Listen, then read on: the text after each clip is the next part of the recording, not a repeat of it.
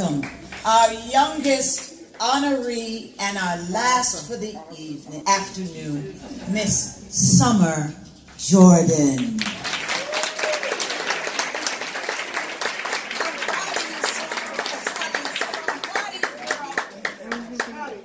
Thank you everybody for having me here this afternoon.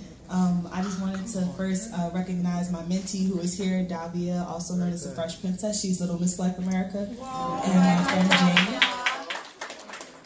Um, this was a was a surprise for me because I was under the impression that I was only coming to play. So the fact that I'm an honoree, I'm just like, thank you, Lord. Um, I'm a year out of college. Um, my platform for Miss Black America is combating youth homelessness. So um, as of 2016, my mother passed from metastatic breast cancer after a 10-year battle. And um, I bought her house. Uh, we were able to part on good terms, on great terms. And I actually moved back in to help take care of her in her last couple of days. Um, and I bought her house, which is a five-bedroom, two-bathroom in Germantown. And I'm in the process of converting that into a youth shelter for homeless teen girls like myself. Wow.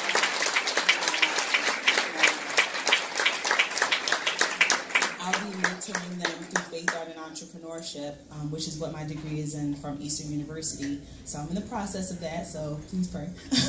and um, so I just thank you all for having me here and for taking the time to listen to my instrument. My instrument is 200 years old. When I was in high school and I was dealing with homelessness, I used to street perform in suburban station and regional rail um, at uh, what is that, 11th and Market. So I had a permit from the city every month that I had to renew to be able to perform under there with my friends. So that was another way that I was able to support myself.